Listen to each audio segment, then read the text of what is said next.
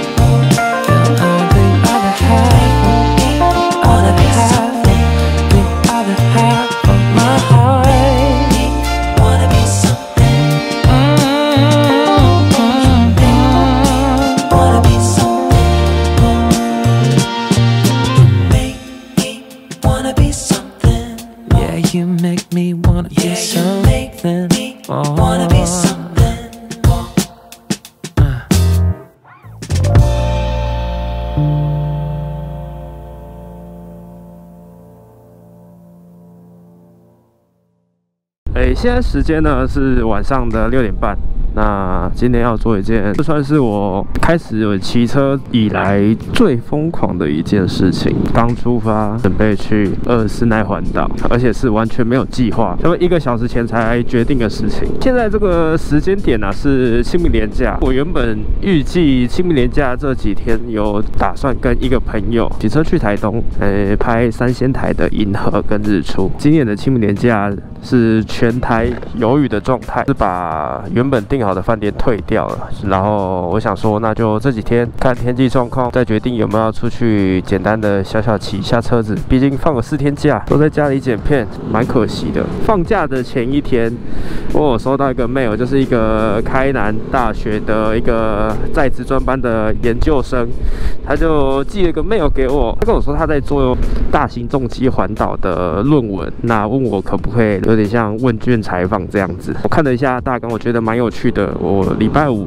就等于说当天早上看，那晚上就跟他约在我家附近的麦当劳访谈，聊了蛮多的，那感触也很深。他本来是一个领队，那大家也知道现在疫情的关系不能出国，那领队基本上是没有工作的状态，可能这也是一个缘分呐、他想说，那不然趁着这个时候，就是圆一个年轻的梦想，回去念研究所。然后他也跟我分享了他就是完全没有准备，突然就决定去骑十八奈环岛的一些内容，我就觉得人家都已经这个年纪了，还可以这么热血。我其实是一个比较胆小的人，我如果没有做万全的准备的话，我是不会轻易的出门的。我两三个礼拜前就已经计划好路线，甚至都看好了，然后天气完备的状态下，我才会出门。所以大家看我，如果自己骑车出门，或是跟你往出门的话，基本上都是好天气的，就是我要确定百分之百好天气，我才肯出门。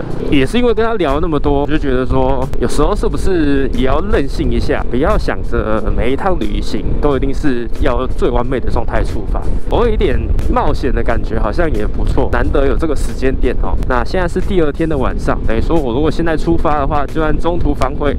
回来也还有足够的时间休息。那假如说成功的话，我也有足够的时间可以休息。再加上我一直在盯天气啊，那天气状况就是，其实今天早上还是有下雨，但是中午过后全台的雨量就慢慢的减少。虽然可能不会放晴，越晚天气状况会越好。我完全没有任何的规划，我就是东西拿好，加满油，洗完澡我就出门了。我也不知道我等下要在哪里休息，我应该也不会赶节奏，反正。这是第一次嘛，顺其自然哦。一日环岛的行程，你等于说你会从台湾的最北端到最南端，再到最北端。那其实这个温度变化是有的，所以我觉得行前的天气状况检查是一件很重要的事情。你要对应你的温度变化还有天气变化去选择合适的衣服系带啦。因为有时候你一下冷一下热，其实很容易感冒啊。昨天真的封面过了。我盯了很久，那个封面迟迟不下来。我等到礼拜天的下午，封面才通过。我想要拍银河或拍日出，应该是不可能，因为云很多。但二十四奈，我想是没有问题的。会赶这么临时的出门，也是因为我出发前我在睡午觉，所以我精神状况还不错。那再加上我今天早上有洗车嘛，想说车都洗了，出去浪漫一下。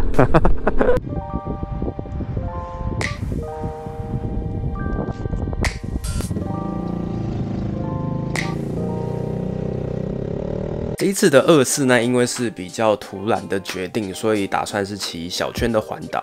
小圈的环岛跟大圈环岛就差别在小圈的环岛是直接走南回就往东边接了，那在北部的话会走北移。最大圈就是所谓的四级点环岛啊，最北点的话是需要经过北海岸的，南点的话当然就是大家都知道的鹅銮比嘛。哎喂，我们现在这边是那个啦，那个凤鼻隧道啦，然后这边其实就是很安全嘛，就是封闭的，可是。不知道为什么最近装了区间测速，而且很妙，就是它的路牌是写七十，可是神盾报的速度是六十。那到底要骑多少，我也不知道。那我们就是比较保守一点，就抓六十五上下就好。你看这个路这么宽，这是快速道路，封闭的，然后车道这么的安全，然后叫你六十。我一些黑人问他，我不知道干嘛？我觉得莫名其妙啊！你这边区间六十是要干嘛？哈哈，是哈喽。这边是快速道路，封闭的道路啊！我只是想抱怨一下一下。西滨骑到这一段的时候，就有看到路边有蛮严重的车祸，应该是大型重机可能自摔。比如说，因为西滨的照明比较差，再加上它的路况比较不稳定，大家在骑的时候还是要留意啊。这也是我一直提到说，为什么上西滨还是会建议装雾灯，因为很多车的原厂车灯是没办法去应对西滨的平均时速跟你实际上路上会遇到的状况。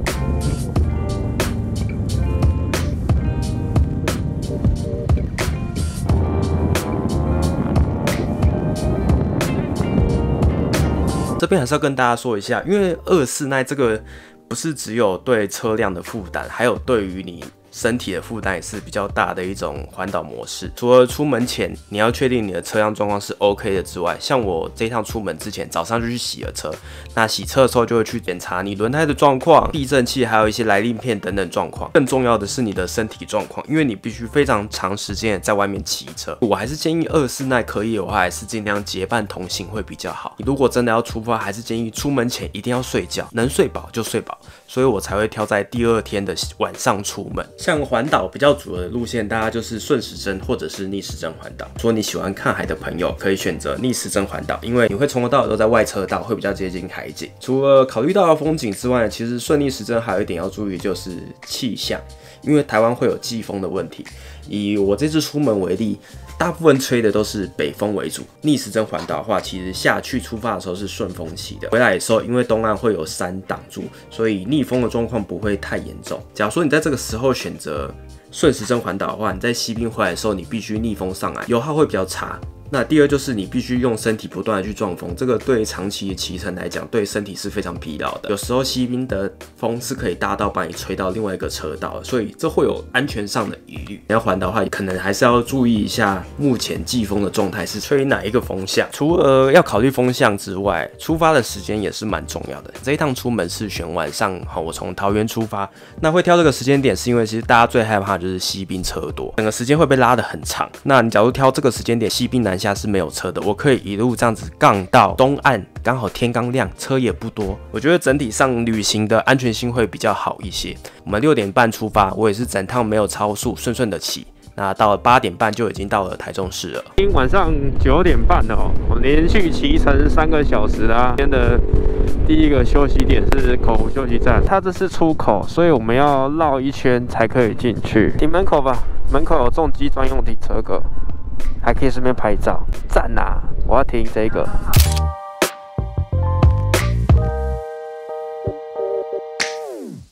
好，那它其实两边就是会有伴手礼，云林的伴手礼，跟两间就是可以吃饭的地方。但是因为现在很晚了，所以关起来。但全家是二十四小时，比较好是它这边的厕所其实蛮大的。无休息站它这边的厕所跟便利商店都是二十四小时。比较大的问题就是这个休息站并没有加油站，所以假如说你是在环岛的车友，那你在加油上就要多留意一下附近哪里有加油站，因为二十四内你可能有一些时段是会处在加油站没有开门的时段，你可能出发前要多做留意。因为我们要往台东的方向，假如说继续往下的话，会经过台。跟高雄的市区，那会非常的拥塞，所以我接下来呢会走接台八四，就是东西向快速道路，走预警的方向，然后再接到台东，可以避开市区的车潮。环岛的话，小圈这是比较快的方式。台八四上面有一个台南的走马赖的加油站，那一间是二十四小时营业的。以我来讲啦，我差妹差不多骑到那里再加油都还来得及。我之前有骑过一次双寨，跟我家女王去屏东。我们就是在那边第一次加油是够的，好，这边这一条就是台八市东西向的往预警方向。啊，我目前还有两格油了，那距离加油站只剩三十八公里，所以绰绰有余啊，哦，叉妹真的比较不用担心没有加油站的问题，因为它的续航力十分的久，哦，像台八市这边哦，照明状况就比西滨好很多了，现在已经快十一点了，哦，走马来农场在这里啦。没去过哦，中有中马奈加油站，环岛救星啊，好可爱哟！之前我们去屏东的时候来这边加油，它也有出现，它好肥哟。好，继续往南吧。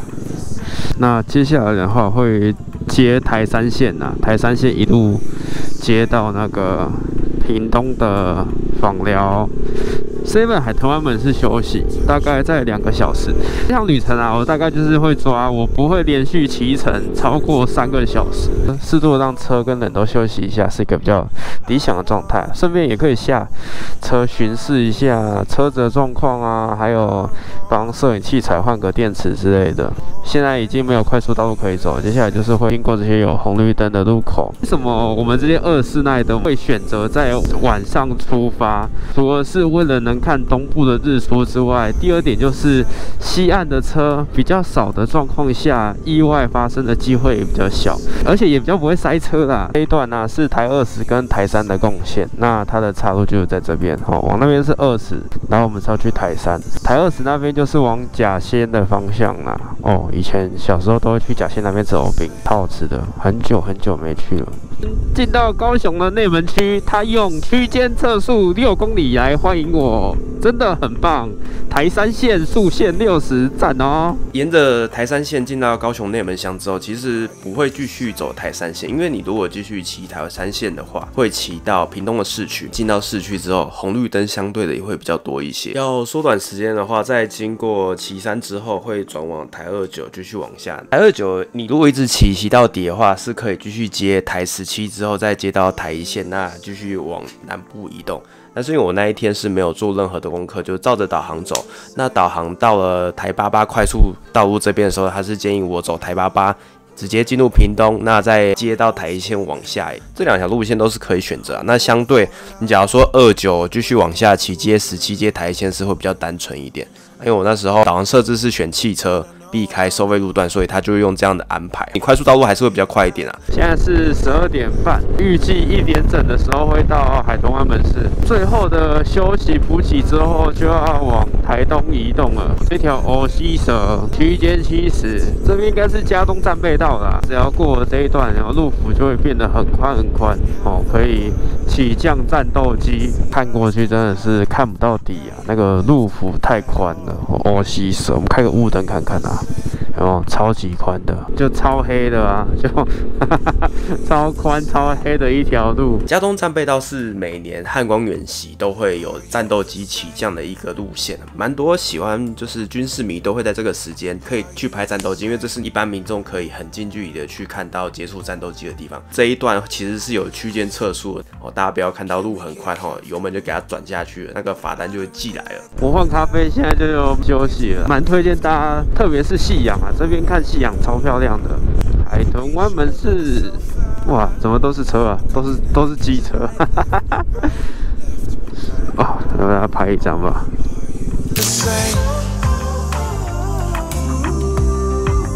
are you the same？are you the same？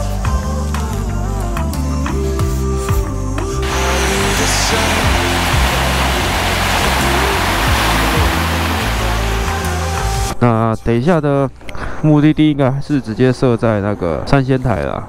预计到三仙台大概是早上四点左右，可到三仙台之前可能会先在中途找一个有二十四小时的加油站。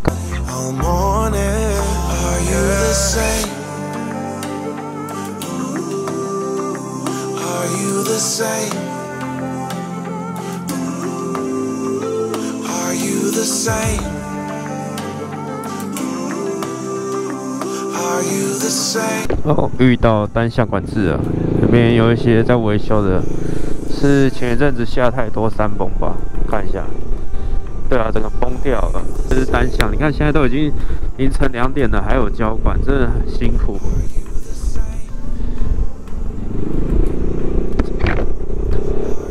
辛苦了。我们到南回改的路口啦，哦，南。拿回改这个超埔隧道啊，它的区间是七十哦，所以大家要注意，因为进了隧道之后，神盾可能会失效，因为隧道内是无讯号的。我就在第一次走拿回改的时候吃了一张区间超速哦，这个大家要注意哦，就是这边是有区间测速的哦，区间测速起点，因为它有科技执法，所以你要留意车序，就是你不能跟前车跟得太紧。那个科技执法也是会拍的，我可能会为为了三仙台跑一日来回，但是要我在二十那，我真的觉得这个真的蛮累的。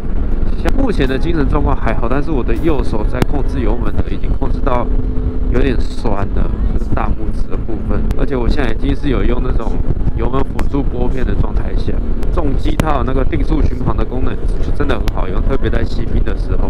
对手的负担会减轻很多啊，因为那一天的天空状况真的很好，西安是完全无云的状态。其实我还抱着一丝希望，东岸有没有机会拍日出。可是，一过了南回改隧道出来呢，其实东岸整片那天都是云，三仙台应该是不会出日出了。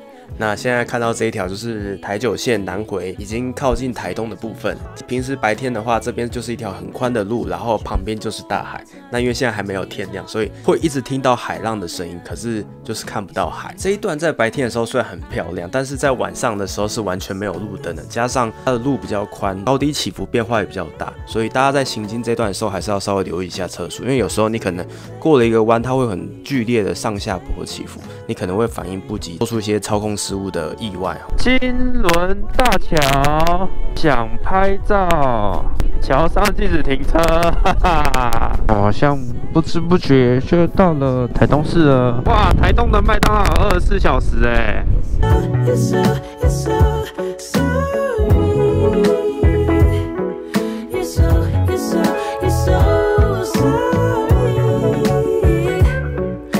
停下来就会听到海声哎。其实海就在旁边而已，可是因为现在天还没亮，其实浪还蛮大的，然后天空都是云啊。今天这边我自从到了东岸之后就看不到星星了，哇，这样仔细看其实真的很漂亮哎。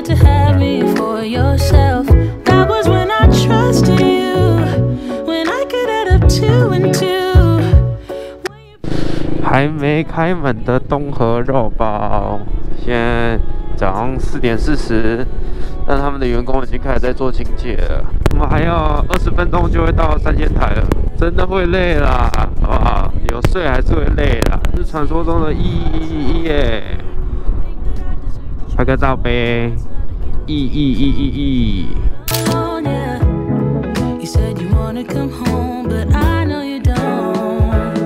拍着拍着天就开始亮了。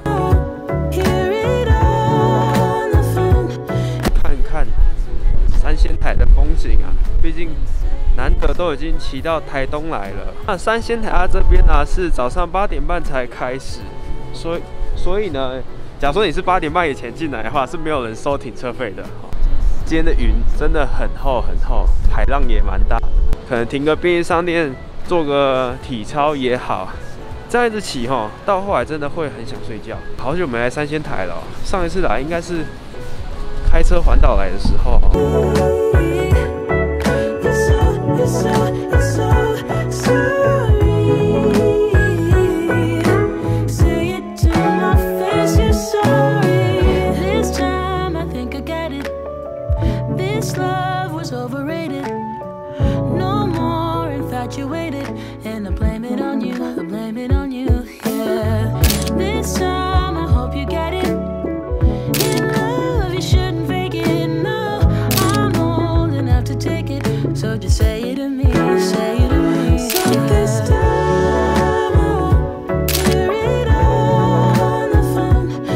二四奈环岛到东海岸的时候，其实你有两条路线可以选择。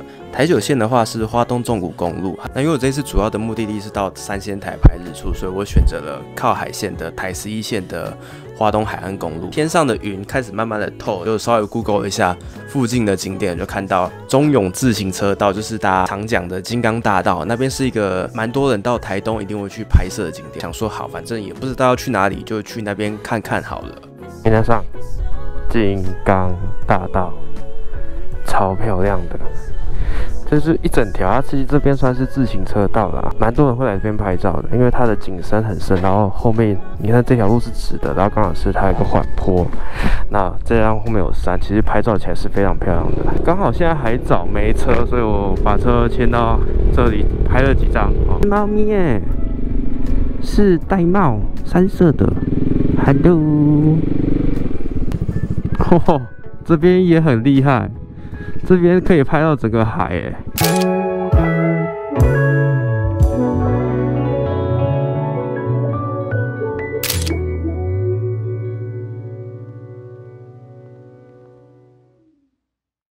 这趟虽然东岸没有放晴好天气，但是不得不说，这个时间点东岸看起来真的很漂亮，因为你就是有山有海又有天空。现在前面看到那一只白白的，就是镜浦北回归线界标。台湾会有三个地方会有北回归线界标，一个地方是嘉义的水上，哦，那有一个飞碟，很像飞碟的东西。那还有再来就是台十一线的这个镜浦北回归线界标之外呢，其实花莲的五鹤也还有一只北回归线界标。那这只界标就代表说你已经离开了台东，已经进到花莲的范围了。with tears inside, calling out your name as you shut the door behind you. And now I wonder why won't you? 哇，太阳哎！停下来看一下好了。西岸放晴了，但东岸的云还是很多，离花莲市还有一段很长的距离。哦吼哦，嘿嘿嘿，这个火车真美。嘿嘿。哦，这边是断崖，所以刚才它有一个小心断崖的警告。哦，这个下去就没有了哦。啊。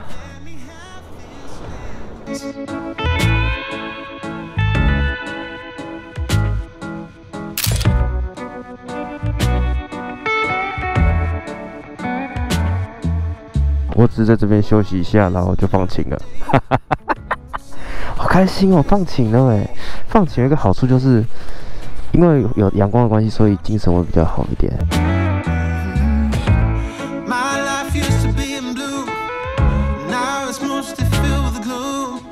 晴天跟阴天真的还是有差啦，这个 不行了，真的好棒哦！这一趟出门实在太好了，坐回去应该会非常累啊，但当下这种感觉真的很棒，太美了吧！这个太美了啦！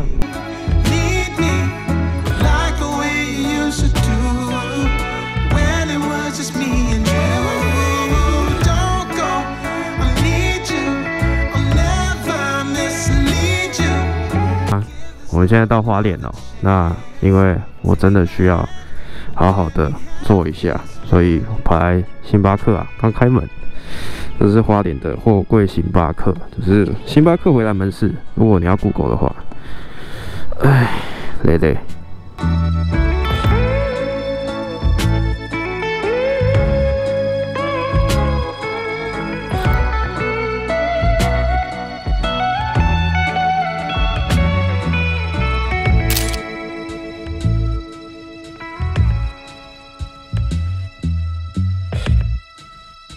等一下的话，应该是会去花莲的崇德利滩啊。花莲应该不会，市区不会多做停留哦，太累了，就是看看海啦。因为早上在三仙台那边的风景不是很理想，看能不能在崇德利滩补拍一些画面。哦，现在超热哎，二十七度哎。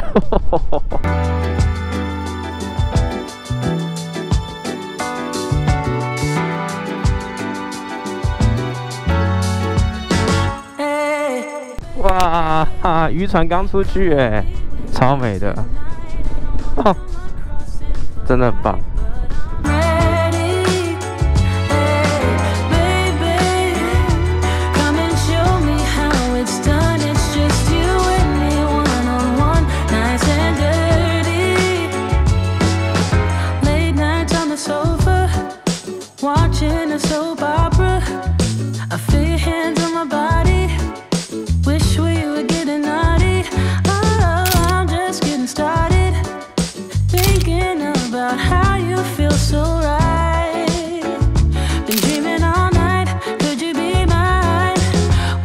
就是认真的杀回家了，因为我发现车越来越多了，现在已经快要中午十二点了，我赶快加紧脚步离开苏花公路啊！苏花公路应该是会塞爆啊！终于要来去骑苏花改啦！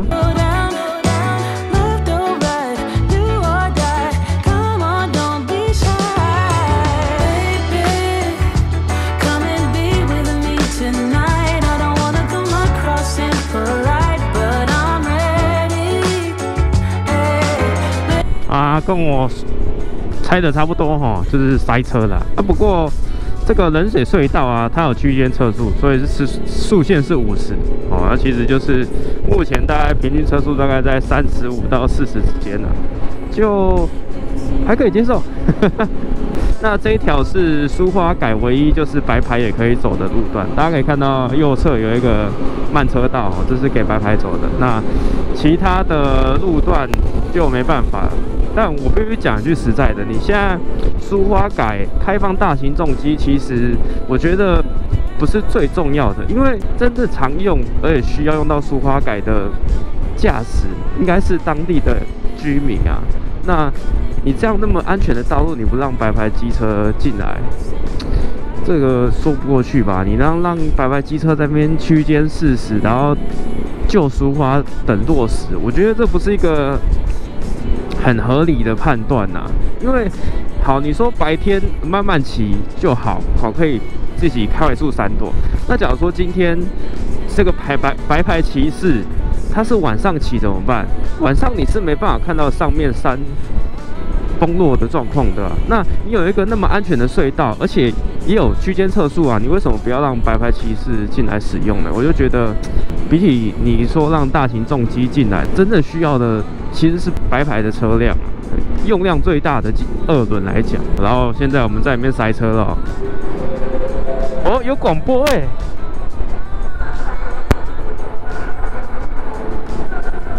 不是啊，这个广播都回音听不懂啊。他到底在讲什么？没有人听得懂啊！就是真的没有骑过的哦，虽然以前开车开过，但是很久以前了，其实开过一次。区区间是多少啊？七十吗？七十？可是我觉得里面应该大家还是会卡在四十。真的目前有一点塞车了，我觉得现在的车流应该是没办法达到七十的。哦，好宽哦！哈哈哈哈。真的很宽呢，速限七十，最低五十。讲到最低五十，刚才有一段那个就是苏花改那一段啊，它也是最高七十，最低五十。可是它的平均车流都是低于五十的啊，哎，哎，到宜兰喽，它这个安全距离参考其实蛮远的，前面的人根本没有保持他要求的车距啊。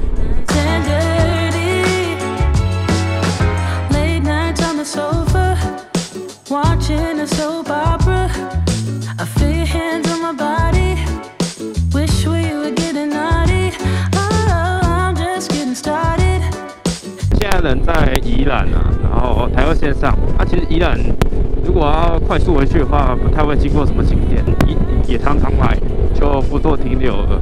我们现在在北宜山脚下，所以我打算来看一下现在北宜的区间到底是哪一段啊？六八点六到，所以我等下到六八就要注意区间测速了。它第一段的起点在这里啊，就是你一下头城这里，所以我打算先在这里等一下。哦，等下骑起来才不会那么痛苦。区间测速嘛，哦，这就是区间测速的速度啦，四十嘛。他妈的，北爷妈骑要几点才回家？真是哦，全段区间嘛，哦，好棒棒的哦，脚踏车比较快。